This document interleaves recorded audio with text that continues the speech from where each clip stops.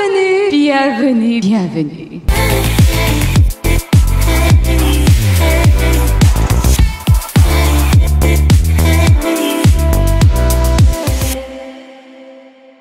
Salut tout le monde, je suis ravie de vous retrouver dans cette nouvelle vidéo et aujourd'hui je vais vous faire le tour du propriétaire afin de vous présenter mes petites écuries, les installations qui sont pour le moment mis en place et bien évidemment je vais enfin vous présenter mon premier jet de la sellerie. Donc voilà, nous sommes partis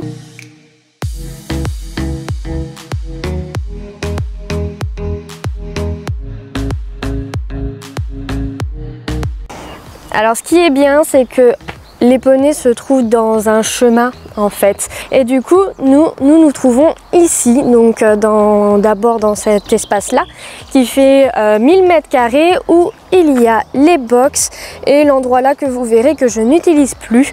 Donc pour le moment, ici en fait, euh, il y a des barbelés mais avec mon papa, en fait, on va changer ça. En fait, on va mettre un grillage pour que ça fasse beaucoup plus propre. Donc, euh, petite affiche pour prévenir aux gens qu'il ne faut pas nourrir mes loulous et prévenir qu'il y a également de l'électricité, même si pour le moment, il n'y en a plus. Mais au moins, ça, euh, ça dissuade les gens de rentrer. Donc, voici le paddock du coup d'hiver.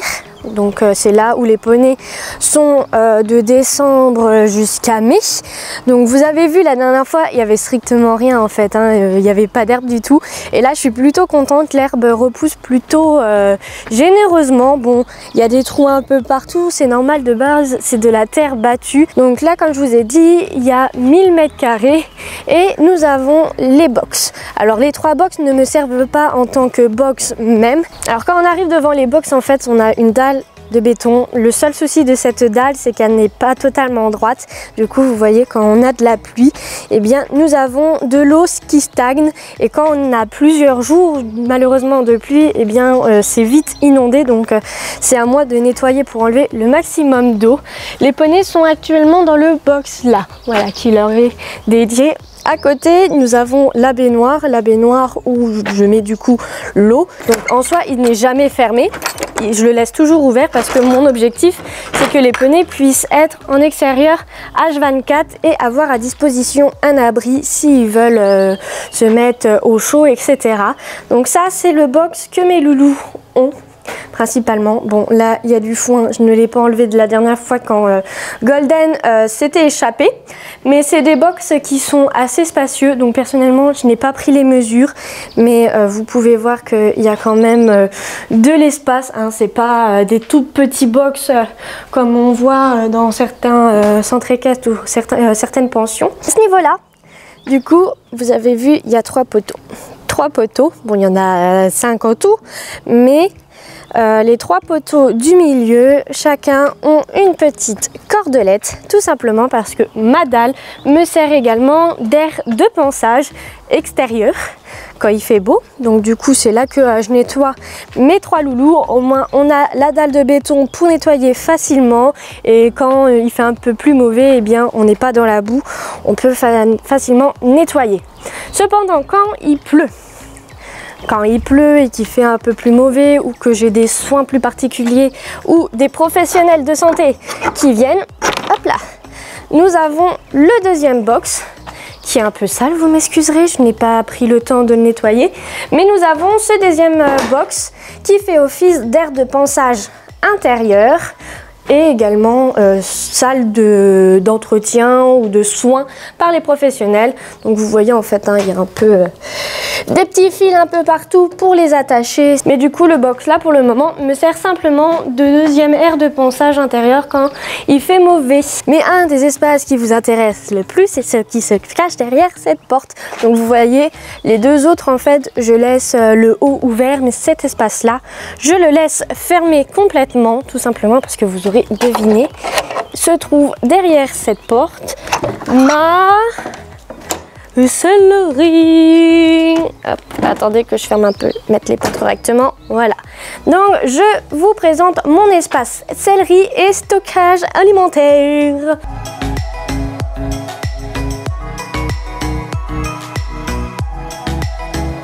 Donc de ce que c'est ici, du coup, vous voyez, nous avons ma petite sellerie qui n'est encore totalement terminé. Nous avons pour commencer mon petit stick de travail qui est accroché avec euh, en fait un montant de filet. Du coup, euh, vu qu'il me sert pas, eh bien euh, je l'ai utilisé pour pouvoir accrocher mon petit stick. Et en fait, à l'aide de clous, en fait, ça me sert bah, du coup à ranger mes licoles. Mais au début, en fait, vous avez toutes mes longes qui sont suspendues au moins euh, je n'ai pas besoin de les emmêler autour des licoles. Je prends le licol qu'il me faut, la longe qu'il me faut et au moins tout ça est rangé.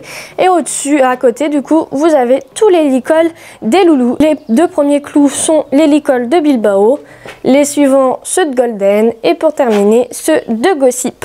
Donc euh, voilà, bon, on voit que c'est euh, Golden au final qui en a le plus. En dessous, en fait, on a la petite polaire de Golden qui est suspendue tout ce qui est le travail en longe et en longue graine, c'était l'ancien filet Bilbao que j'ai transformé en Nakamor. Mais c'est vrai que voilà, ça a été fait main, donc ce n'est pas forcément le top du top. Mais du coup, celui-ci, je l'ai remplacé par mon achat le plus récent qui est mon cafson. Vous avez du coup, comme je vous ai dit, s'il vous plaît, le petit filet de Gossip que je n'ai jamais utilisé. Donc euh, je me demande si je vais le garder ou pas, je ne sais pas encore. Hop, et la grande longe qui est rangée à ce niveau-là. Et du coup, on a mes longues graines et ma longe euh, éthologique. Attention, là, euh, vous n'aurez jamais vu autant de tapis de votre vie. Tadam Trois petits tapis. Voilà. Non, je n'ai pas euh, la folie des tapis. Moi, j'ai la folie des licoles. Mais du coup, là, nous avons trois petits tapis que je n'utilise euh, en soi quasiment jamais parce que je ne fais plus beaucoup de longues graines avec les poneys. Mais je le garde quand même au cas où. Sait-on jamais. Donc, euh, j'ai trois petits tapis. Et du coup, j'ai mon surfait que, voilà, qui me sert pour l'instant qu'à Bilbao. Donc voilà un peu mon rangement euh, d'équipement et juste à côté nous avons ma petite armoire où il y a mes boîtes de pansage et les boîtes de soins. Donc en soi, vous avez ma malle de pansage de chez la marque Unique Horse que j'adore. La couleur, je la kiffe. En fait, ça fait euh, multicolore. Donc là-dedans, vous savez pertinemment qu'il y a mes affaires de pansage. Donc je vous ai fait une vidéo, je vous le mets dans le petit i pour que vous puissiez aller euh, la regarder. Donc je ne vais pas vous présenter le contenu de cette boîte. Là dedans, il y a euh, tout ce qui est mes isolateurs et autres objets pour faire les clôtures. Donc en soi rien à voir avec l'entretien des poneys. Et en dessous en fait je suis allée acheter des petites euh, des petits pots des petites caisses en fait qui sont en sorte de caoutchouc. Donc qui est hyper pratique pour nettoyer et qui salissent beaucoup moins facilement chez Action. Donc c'est 1,82€ l'unité. Je l'ai trouvé super sympa. Donc j'en ai acheté 6 pour pouvoir ranger euh, chaque euh, chaque produit pour une utilisation précise. Par exemple, ici, vous avez les soins des pieds. Là, vous avez tout mon nécessaire pour la douche. Ici, nous avons les lingettes et les produits pour euh, les yeux quand ils sont sensibles. À ce niveau-là, vous avez mes démêlants. Là, c'est en fait euh, un peu le bric-à-brac. Là, c'est pour les petits bobos. Là, c'est pour la robe et tout. Là, c'est en fait, je ne savais pas où les mettre. Donc, je les ai mis ici. Et ici, en fait, c'est également un peu de bric-à-brac. En fait, hein. j'ai un ciseau, l'ancien vermifuge, mais je crois que je vais le mettre à la poubelle ou peut-être que ça suffira encore pour un des loulous. Et des petites friandises. Donc euh, voilà, en fait, il euh, n'y a pas énormément de produits. Comme je vous ai dit, moi, je suis pas du genre à acheter trop de produits inutiles. J'utilise des produits s'ils me conviennent, s'ils conviennent à mes poneys, eh bien euh, j'en utilise un seul et ça convient pour tout ce que je fais. Et en dessous, en fait, là, avant, bah, c'est là où je rangeais tous les produits que je n'utilisais pas dans cette boîte-ci. Attention, hop il y a euh, mon petit côté où il y a mes petites guêtres. Il faudrait que j'arrive à leur trouver une petite place ici, en fait. Mettre un sorte de petit panier accroché à ce niveau-là. Pourquoi pas, pour euh, les poser à l'intérieur. Mais du coup, voilà, en soi, euh, il n'y a rien d'extraordinaire à ce niveau. C'est vraiment mes produits de soins. Je vous en ai déjà parlé. Ils n'ont pas changé depuis les années qui ont passé. Mais du coup, voici le côté céleri. Et ensuite, on va passer avec le côté stockage alimentaire. Donc en fait, toute la longueur là, en soi, c'est là où je vais stocker mon foin. Donc ça, c'est le foin qu'il me reste, mais il va falloir que j'appelle pour euh, commencer à stocker le foin pour l'hiver qui va arriver. Et en face, du coup, vous avez mon congélateur qui n'est pas branché bien évidemment, mais c'est là où je vais du coup stocker mes grains tranquillement au frais. Là, il y a encore euh, les médicaments de Gossip quand elle m'avait fait euh, ses diarrhées un peu à répétition. Là, il m'en reste encore un peu. Du coup, je les mets au frais parce que on dirait pas, mais même s'il n'est pas branché, ça conserve la, la fraîcheur parce que c'est comme une glacière en soi. Donc, du coup, c'est ici que je vais mettre mes grains. Vous voyez que mon congélateur est ici. C'est tout simplement parce que cet espace là ne me sert plus. J'ai décidé euh, de entre guillemets le condamner car pour le moment il n'y a pas trop d'utilité et ça me faisait chier de faire toujours des allers-retours ici pour aller chercher les grains des poneys. Au moins euh, dans l'espace là j'ai tout à disposition et je, voilà, je suis pas embêtée et ça prend pas de place. Et pour finir, au niveau de la sellerie, on a l'espace nettoyage où vous avez ma brouette et mes balais ma petite pelle et mes petites fourches pour nettoyer les crottins. En tout, pour euh, ma petite écurie, nous avons trois cuves à eau qui font 1500 euh, litres. Donc nous avons la première ici qui prend la partie là du toit. Et nous en avons deux autres de l'autre côté. Celle-ci qui prend l'eau de pluie d'ici et celle là-bas, juste là, qui prend euh, l'autre partie des box. Alors j'ai terminé de vous présenter cet espace-ci et maintenant bah, je vais aller vous présenter euh, brièvement le parc des poneys parce que il euh, n'y a pas énormément de choses à dire. Donc pour aller voir les poneys, eh bien je ressors par là où je suis rentrée et en fait les poneys sont pas très loin je pourrais passer par derrière parce que du coup ils sont à même pas 100 mètres. Mais euh, avec l'herbe qui a poussé, les arbres et tout, c'est assez euh, compliqué à passer tranquillement. Donc là je reprends le chemin. Alors vous voyez ma voiture elle est là-bas. Et le parc des poneys il est juste là. Donc en soi il y a juste ça à faire. Donc c'est pas immense non plus. On y colle Et nous voici au premier parc des poneys où ils y sont depuis mai.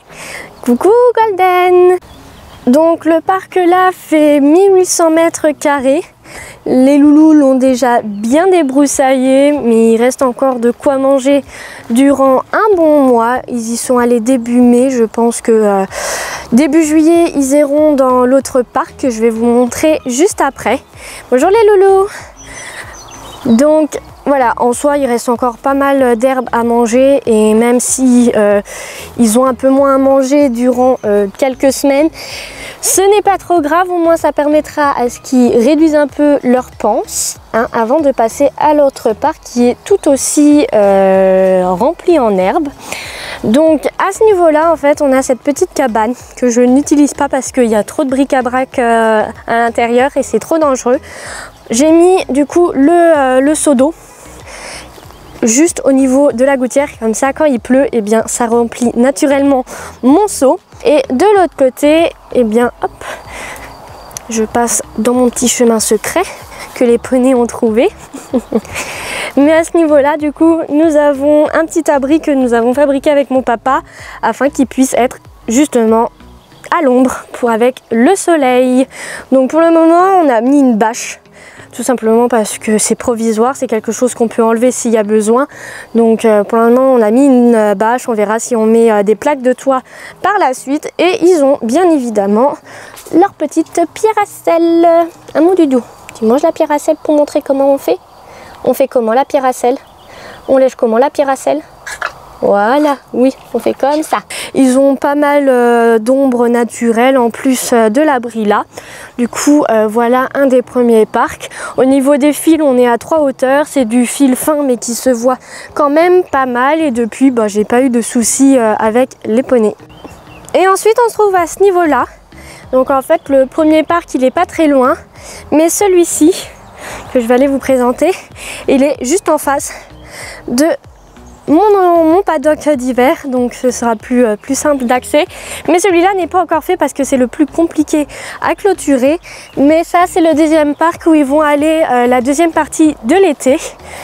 Un parc euh, du coup qui n'aura pas d'abri en soi. Parce que lui, il a quand même plein d'abris naturels avec les arbres. Donc plein de coins d'ombre. mais c'est celui qui est le plus embêtant du coup à clôturer. Donc comme vous voyez ici, euh, l'herbe a également bien bien bien poussé. Et du coup ce parc-là fait 3000 mètres carrés, donc qui est plus grand que l'autre. Donc là, ça suffira largement pour euh, leur permettre d'avoir de l'herbe jusqu'à qu'ils retournent au paddock. Et je ne vous ai pas montré, mais je n'ai pas encore de carrière. Pour le moment, je travaille les poneys euh, dans le paddock, vu qu'ils sont au parc. Mais normalement, c'est à ce niveau-là que je suis censée construire ma carrière, que je n'ai toujours pas fait. Va vraiment falloir que je m'y attelle, que je demande à quelqu'un de prendre une débroussailleuse pour me débroussailler tout l'endroit là et que je clôture pour euh, faire euh, la carrière. Mais je pense que je le ferai en même temps que lorsque je clôturerai l'espace là. Et du coup, c'est à ce niveau-là où il y a vraiment le plus d'ombre grâce à ces grands arbres-là qui font un bel espace comme ça, tranquillou, pour les loulous, même à ce niveau-là. En fait, tout le coin là, c'est là où il y a vraiment pas mal d'arbres assez hauts où ils peuvent se mettre euh, à l'ombre tranquillement sans être beaucoup embêtés. Mais c'est vrai qu'à ce niveau-là aussi, l'herbe a trop poussé malheureusement. Mais euh, voilà, voilà euh, le deuxième parc des loulous. Donc en tout et pour tout, avec le paddock et les parcs, j'ai 6000 mètres carrés de propriété que j'ai en location. Parce que oui, je vous ai pas dit, mais je suis en location ici. Je ne suis pas propriétaire, mais je paye très peu cher ma location. Je suis à 50 euros par mois pour louer ces 6000 mètres carrés. Donc pour mes poneys, ça suffit largement. Et 50 euros, bah, ça me permet du coup de pouvoir leur acheter leur foin et euh, le matériel de clôture nécessaire pour qu'ils soient vraiment bien installés ici. En pension, j'étais quand même sur du 250 euros. Donc j'économise 200 euros. Donc en soi, c'est vraiment pas mal. Les poneys sont du coup à 20 minutes de chez moi. Ça va, on est près euh, d'une voie rapide donc le trajet, euh, je le vois pas tellement que ça, ça me dérange pas. Et sachant qu'ils sont très bien à cet endroit-là, 20 minutes dans une vie, c'est rien du tout. Du coup, voilà, je vous ai fait la petite visite euh, de ma euh, propriété. J'espère que ce petit lieu de paix vous plaît autant qu'il me plaît à moi et à mes poneys. Moi, je vais vous laisser et on se retrouve dans une prochaine vidéo. Salut